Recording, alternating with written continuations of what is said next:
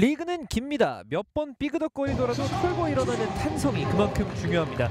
상위권의 두 강호가 쓰러진 틈을 타서 선수 경쟁에 명함을 내밀기 원하는 두 팀은 그 사실을 너무나 잘 알고 있을 텐데요. K3 리그 9라운드입니다. 울산시민축구단과 창원FC의 경기로 여러분을 초대합니다. 안녕하십니까? 저는 캐스터 김재현입니다. 오늘 이민규 캐스터와 함께 중계방송 보내드립니다. 안녕하세요. 네 안녕하세요. 저희가 오프닝에서 지금 말씀을 가져갔습니다. 그렇습니다. 울산 시민 축구단이 과연 그때 좋은 기억을 계속 이어갈 수 있을지 윤균상 감독의 오늘 선택 만나보도록 하겠습니다. 김민근 골키퍼, 김재현, 박동혁, 민원기, 장재원, 박진포, 윤대원, 이한세, 구종욱, 임예담 그리고 정종훈 선수입니다. 네 그렇습니다. 울산은 지난 경기와 비교해서 총 세 자리 바뀌었습니다. 민은기, 박진포, 이한세 선수가 선발 라인업에 이름을 올렸습니다. 그렇습니다. 자 이어서 원정길 떠나온 창원FC입니다. 이영진 감독의 베스트 11 만나보시죠. 임채훈 골키퍼입니다. 이태민, 오경재, 김규환, 이승현, 이현성, 전성진, 손준석, 이인규, 태연찬 그리고 문슬범 선수입니다. 네 창원도 지난 경기와 비교해서 한 자리에 변화가 있습니다. 이태민 선수가 오늘 선발 출전하면서 이영진 감독의 선택을 받았습니다. 점 득실차에서 앞선 6위. 자, 양 팀의 치열한 맞대결 지금부터 출발해 보겠습니다. 맨 왼쪽에 창원 FC, 오른쪽에 울산시민축구단이 자리하고 있습니다. 자, 일단은 앞쪽으로 보내기보다는 뒤에서부터 차근차근 빌드업을 풀어가고 있는 창원입니다. 그렇습니다. 왼쪽으로 대각선으로 띄워봅니다. 자, 과연 울산은 오늘 이 문슬범 선수의 스피드를 어떻게 통제를 할 수 있을지. 자, 이번에 오른쪽 울산의 공격입니다. 어, 전환이 좋았어요. 반대편에도 동료가 뛰어 들어가고 있는데요. 나왔고 임예담 가운데로 자 때릴 수 있습니다. 오른쪽 열어줍니다. 잡아놓고 크로스 그렇죠! 붙이는 오, 그대로 빠져나갑니다. 어, 박스 안쪽에서 두 명의 공격수가 지금 몸을 날렸던 것으로 보이는데요. 네.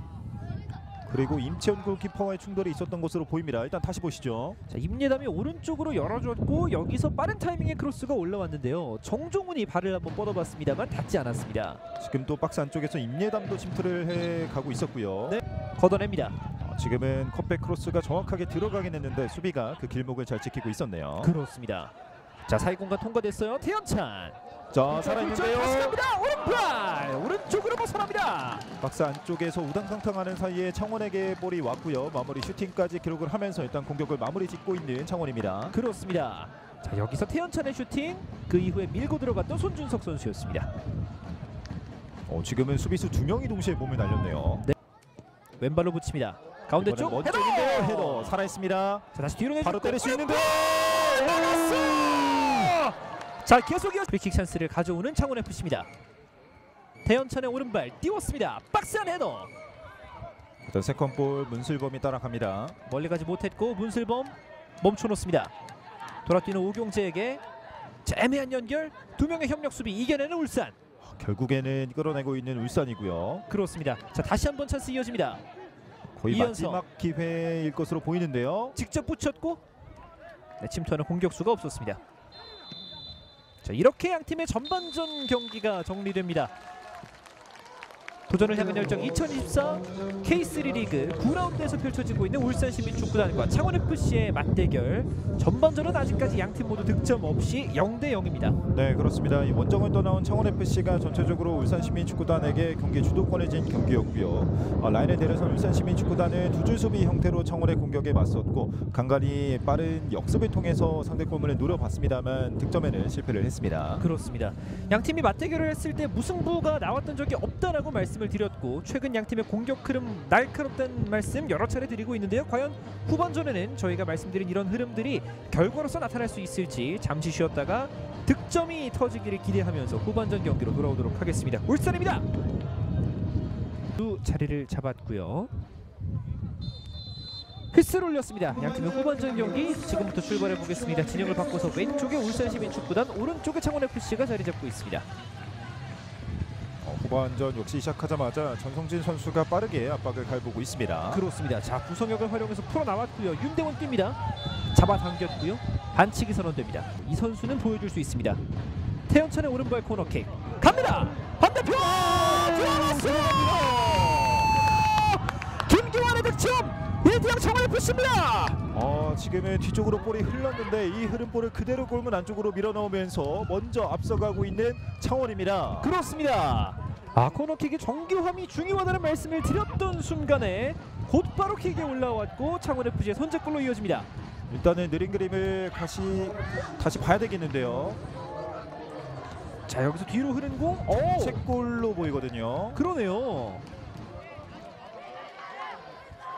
자, 이 공에 대해서 수비수가 머리를 갖다 댔는데 아. 네, 조금 더 자세히 사후의 기록을 확인해 볼 필요는 있겠습니다만 김규현 선수 앞에서 득점을 원하는 울산의 홈팬들 구종욱 붙입니다. 박스 안 갑니다. second ball 다시 있는데요. 결국 잡아내는 임채원입니다. 어, 지금은 굉장히 날카로운 크로스가 올라왔고요. 헤더가 골대에 맞고 나오면서 거의 득점과도 가까웠던 아주 위협적인 상황이 나왔는데 이 슈팅을 골키퍼가 막아냅니다. 구종욱의 날카로운 크로스 박스 안에서 동료 머리에 닿았습니다만 이 절묘한 궤적을 쳐냈던 임채원 골키퍼였어요. 어, 사실상 핑거팁으로 막아냈고 끝까지 지금 박동혁 선수 재치 있게 풀어내고 측면 전진 꺾어줍니다.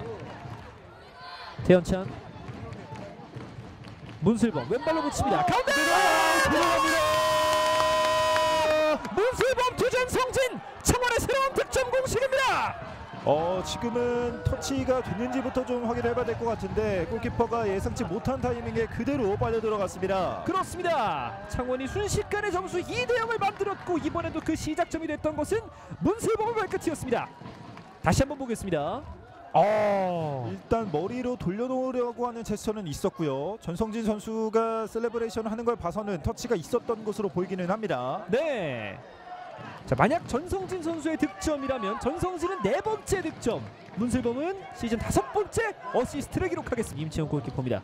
아 문슬범의 backheel 전달이 됐어요. 이현성이 반대로 전환. 높게 뜬 공 김성진. 어, 터치가 제대로 됐습니다. 직접 때릴 수 있는데요. 자 안쪽 넣어줍니다. 원터치 연결 김성진 잡고 슈팅! 아, 작품입니다. 스코어 3대0 창원 FC. 어, 지금은 김재현 캐스터 말씀처럼 지금 그야말로 완벽한 작품 하나가 만들어졌습니다. 아 오른쪽 문슬범부터 출발했던 공격을 왼쪽에 김성진이 마무리 짓기까지 군더더기가 하나도 없었습니다. 어, 거의 게임을 하듯이 패스를 주고 받았고 지금 슈팅하기 전에도 어, 완벽하게 타이밍을 재고 수비수 다리 사이로 또 골키퍼가 손쓸 수 없는 구석으로 완벽하게 꽂아 넣었습니다. 그렇습니다. K3 리그 수준 이렇게 높다라는 걸 또 보여줄 수 있는 하나의 장면이 나온 것 같고요. 교체 투입된 김성진의 득점으로 창원 FC가 간격을 벌려 나갑니다. 아, 김성진 선수는 이렇게 되면 본인의 리그 두 번째 골을 터뜨리게 됐고요. 고요. 구정국이 갑니다. 오른발 터치! 됩니다. 임채훈이 무실점을 이어갑니다. 어, 지금은 정말 엄청난 선방이 나왔습니다. 자 그리고 역습을 나가는 창원 FC예요. 세 명이 함께 뜁니다. 왼쪽 오른쪽 모든 옵션 열려 있습니다. 문슬범 많은데요. 문슬범 직접 가요. 문슬범 걸렸어요. 걸렸지만 들어갑니다.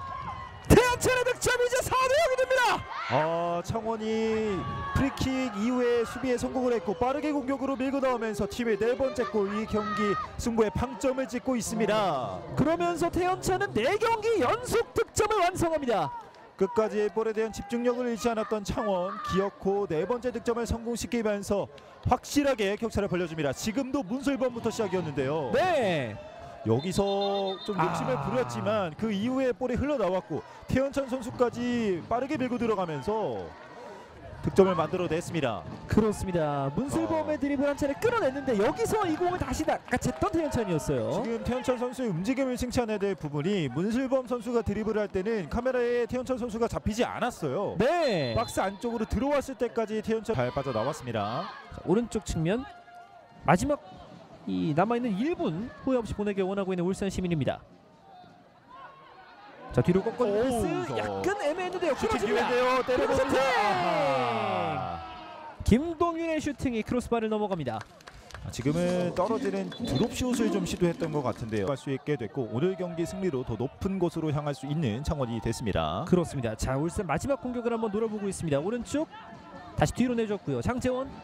슈팅까지 좀 마무리를 해줬으면 좋겠는데요. 네 여기서 또 한 번 패스가 끊어지면서 이렇게 마지막 찬스까지도 지원하고 있는 창원 FC의 수비였습니다.